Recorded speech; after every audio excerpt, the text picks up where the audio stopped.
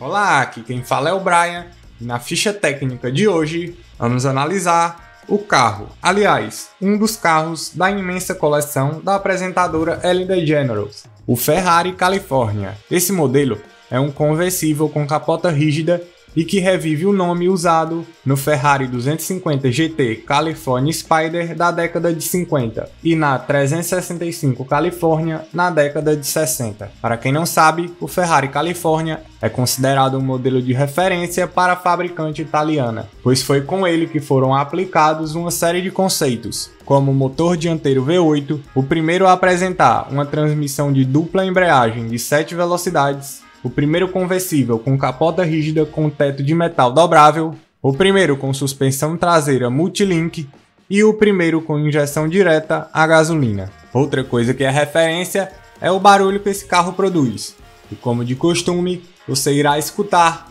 ao final do vídeo. Seu motor é um V8, localizado na dianteira do carro e de tração traseira. Com seus 460 cavalos, essa máquina empurra 1.735 kg, e se resume em 3,8 kg por cada cavalo, com um torque de 49,45 kg a 5.000 RPM e um câmbio de 7 marchas que controla toda a sua fúria. Califórnia vai de 0 a 100 em singelos 4,1 segundos.